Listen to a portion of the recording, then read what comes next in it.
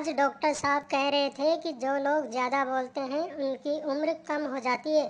ओह तभी सब कहते हैं कि मैं चालीस की उम्र में भी बीस की लगती हूँ। सुनो जी, आज ऑफ़िस से जल्दी आ जाना, मूवी देखने चलेंगे। और नहीं आया तो? अगर टाइम से आए तो बीजेपी के चुनाव चिन्ह से स्वागत करूँगी। और देर करी तो फिर कांग्रेस के चुनाव चिन्ह से। और ज़्यादा देर करी तो फिर केजरीवाल का चुनाव चिन्ह दरवाजे के पीछे रखा है ध्यान रहे आज सब्ज़ी में नमक क्यों नहीं है? वो सब्ज़ी थोड़ी जल गई थी ना तो नमक क्यों नहीं डाला? हम लोग जले पर नमक नहीं छिड़कते।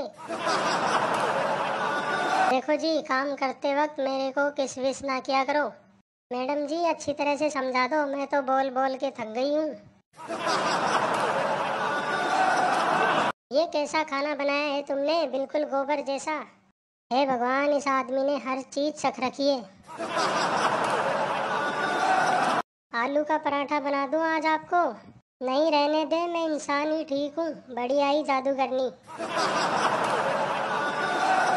हमारे गाँव में पहला 24 घंटे बोलने वाला रेडियो मेरे पापा लाए थे।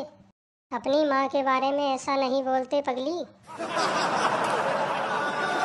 तुमने शादी से पहले क्यों नहीं बताया कि तुम्हारी रानी नाम की एक और पत्नी भी है? बताया तो था तुम्हें, रानी की तरह रखूँगा। तुम मुझे ऐसी दो बातें बोलो कि एक से मैं खुश हो जाऊँ और दूसरे से गुस्सा आ जाए। तुम मेरी ज़िंदगी हो। और लानत है ऐसी ज़िंदगी पर।